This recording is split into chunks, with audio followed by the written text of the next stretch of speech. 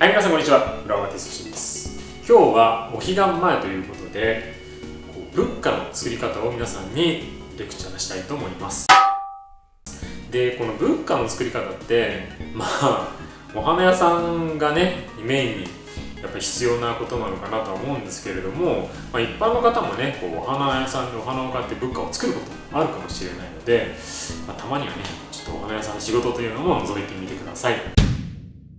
の仏花の作り方一番基本になるのは基本っていうか、まあ、スピードが大事になってくるんですよ。いっぱい作んなきゃいけない。んでそのスピードで一番なんだろうなスピードアップしていくために必要なのは輪ゴムのかけ方だったりするんですね。でその輪ゴムのかけ方って人それぞれ全然違くてお店によっても全然違うんですよ。なので今日はねここでは僕の輪ゴムのかけ方とか僕の仏花の作り方を教えますけどこの後こう道夫くんのお店にロケに行ってきたんでそこでこうそこで作ってるみんなの輪ゴムのかけ方っていうのを皆さんにこの後お見せしたいと思います。ではまず最初に僕の仏花の作り方を皆さんにお伝えしていきます。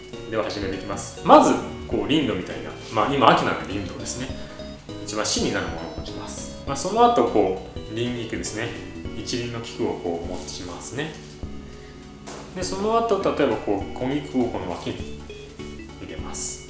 そしてカーネーションを入れて手前に小菊をまたこう持ちますね。でこう足元を揃えてこれでまあ仏花は完成なんです。簡単なんです。まあよくパラレルっていう人もいますけど僕は結構 スパイラルになってます仏花でも。でこっからなんですけど、えー、輪ゴム。僕の場合は、まあ、ここで、まあ、ここで大体小指にこう引っ掛けてこうですね。でそのまんまこう下にこう巻き下げていくんですね輪ゴムを。でここで輪ゴムをこう離すとこのようにここの上とこの下でこう横になった部分があってここクロスしてるみたいな。クロスはしてないか。コースのクロス。こういう感じですね。こういう感じの輪ゴムのかけ方になります。これが、まあ、僕の輪ゴムのかけ方で一番早い僕なりのやり方なんですね。まあこれだとこうこことここと2箇所しっかりこう止まるんで物価はこうずれないんですけれどもそのお店そのお店によってはあの結構この後ねお客さんがバラして使うからこうしっかり止めないなんてお店もありますので、まあ、一概にこれがいいとは言い切れませんが、まあ、これだとこのまんまねお墓参りに入れてもしっかりと止まってるんですね、えー、なのでまあ物価だけじゃなくて他のものにも使える輪ゴムのかけ方です、えー、これはよく覚えておいてください。ではこれからみんなのね輪ゴムのかけ方をロケで見てみましょう、まあ、ちょっとここよりは暗い場所になるんで見づらいかもしれないんですけれどもご覧ください。どうぞ。はい皆さんこんにちは。村和ジです、えー、今日は湘南の金子の焦りにいます、えー、ここで何をするかというと今日ここではね実はね仏花をみんなで作ってるんです。で仏花はまあ、こうやって今つとむが仏花作ってるじゃないですかつとむくんが。でこのこっからこの輪ゴムをかえ落ちてる輪ゴム輪ゴム？輪ゴムをね輪ゴムをかけるんですよ。仏花って必ず。でこの輪ゴムのかけ方がみんなそれぞれ違くてどれが正解なのかっていうのをこれから検証していきたいと思います。今ごたごたしてていろんな人が歩くんでいろんな人のこれゆうたです。あの輪ゴムのかけ方をやっていきたいと思います、えー、ではちょっとこの輪ゴムのかけ方の検証をしていきます。どうぞ。えっととりあえず仏花はあまず仏花の作り方をやる仏花の作り方。はい。はい。じゃあこれやって。はい。あ俺が？そうだよ。えー、菊です。何聞くですって？菊を中心にえー、左右にお菊を当てていきます。はい。そして次に赤い色のミキをあじゃない。カーネーションを入れてこれで完成です。物価は割とこう本数が少ないんで花束という中ではふるいの中では簡単なんですけどただここから先のこの輪ゴムのかけ方が結構重要なんですこの輪ゴム輪ゴムのかけ方でこの物価ってとにかくスピードだからね。その物価はスピードなんでスピードが変わってくるんですよ。なのでその物価の輪ゴムのかけ方をこれから皆さんに伝授します。とりあえず輪ゴムちょうだいミキをやってみる？俺やりますか俺なんか遅い方な感じじゃまずいじゃないですか。遅いではい。じゃあ輪ゴムのかけ方やります。私ところはあの輪ゴムかけるのこう硬いところにこうやってこうくるくるくるっとこんなんです。ちょっと待って。もう一回もう一回かもう一回ゆっくりやってみよもうただはい最初に？どっかに？硬い茎を選んで。あ引っ硬い茎を一本選んで掛けて引っ掛けてくるっと回してその後下に下げていきながらのなるほど。こうですね。で必ずこう一点にはしません。やっぱ広げて、なるほど。まあ、下はちょっと広がりますけど。あのまあこれはどうにでもなります。はい。うん早いですいきますあ、でも、やめて、やめて、ちょっと待って、ちょっと待って、その、その手品師みたいなのやめて、全然見えてないちょっともう一回やってみよう、もう一回やってみよう、もう一回。もうんもう一はい回。はい、まあ、これ、これのスピードで、まあ、かかってるんですよね、輪ゴムがね。じゃあ、これゆっくりしてやっても、はいやゆっくりやらないと、わかんないからだって。はいえーまず全体にかけますちょっと待って、全体何をかけたの輪ゴムそこ見えてない、まだ。見えてない、見えてない。あ、ここ。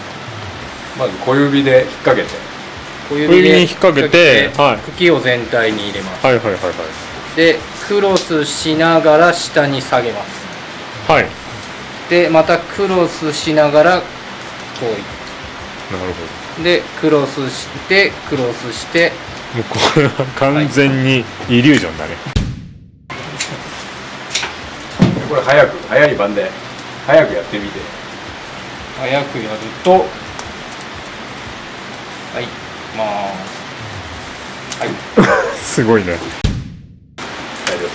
じゃあ次、あの、今日のスペシャルゲストのゆうたくん、ゆうたくんやってみよゆうたくんはすごいですう。よ。ゆうたくんすごいからね。ゆうたくんはすごいよ。うちのゆう、うちのゆうたくんはすごいから。うちのゆうたくんはもうマシンなんだよ。マシン。ゆうたくんはすごいよ。ちょっとこう、このカメラに向かって親父一緒で。じゃあ、スペシャルゲストのゆうたくんです。じゃあ、ゆうたくんの輪ゴムのかけ方やってみよう。ゴムのかけ方ということで、えっと、ちょっと待って。私ははい。いいよ。一番茎の硬いところにうん。ゴムを通しまして、うん。ここ1回2回回しますはい。でここから下まで巻き下ろしてここで止めてますじゃあすいません。ルッカの作り方。今度僕やってみます赤本当白。はい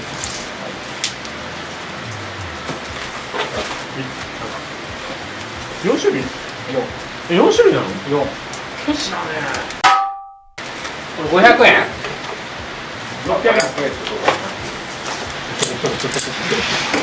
輪ゴムあるいや500円じゃない。600円。はい、これ僕のやり方なんですけどこうしたら僕はここで小指に引っ掛けるんですよ。引っ掛けて下にこう持っていってここで離すとこういう状態なんですね。まあ今日ここに5人いるんですけど5人それぞれやり方が違うんですねだからこの物価の体が500束ぐらい。このゴムの巻き方は結構千差万別って言いたい天様もうかなり違いみんな違いますねだから鳥も一にいや長澤さんできればこっちの聞くだよこれ何よ？いや俺誰かこれいいいやいだもん 氷だから。何が？いやなんくかっせえこれ。なんか臭いのありますよね。水変えろよくっせえな。ふざけんなあくっせえ。その下本当がやばいんですよ。いやこっちはヘビです何が臭いんですかね？なんかすごい臭いのありますよね。もう手手がなんか超くっせえんだけどこれ。いやこれは平気平気。でこうこうしてちょっと待って。イリュージョンやってみたい俺。やってみたい？イリュージョン。はいえそれが臭いんじゃないの？白が。いやいやそんなことないですよ白は臭い。これ下落としちゃって。こ えそれ臭いの？れ臭い。ですいやそれ臭いいのやいやもう大丈夫ですよ。これ下は平気だから。いやこれ水がまずくせえんだよ。いやすげえバッチリだこれいやいや平気ですやば。何言ってんの？めっちゃやばいこれ。いやいやいやお願いしますよ。うちもそんなひどくないいやいやひどいよいやいやひどくない何言ってんですかうち30度以上いくんですよえ？30度以上い何が何が30度以上いくの？お願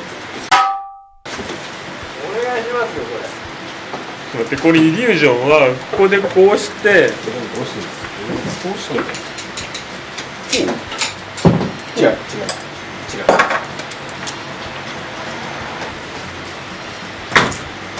こうして。あま入れちゃうわけね。入れちゃって、はい。まずあれすごいあの小指に引っ掛けるんですよこうですか？あこっちこっち動かさないですよね。こっちだけこうずーっと。それちょっとすごいねこれ。これはねすごい。このなんかなんつうのこのクラゲみてえなこマジでここれこれだけです本当に超早いよこれじゃもうパチンコ屋さんみたいなクリカーとか言ってううこれかあ今日これかちょっとバカ野郎はい。どっかいかがだったでしょうか。まあ結構ねギャラリーっていうかギャラリーっていうかつ作ってる人間が多かったんでワイワイとやってましたけどまあああいう感じで物価のかけ方あの輪ゴムのかけ方がみんな違うんです、えーなので自分なりのこうかけ方をいろいろ試してみて一番良い方法で作ってください。ではまた次回しましょう See you next time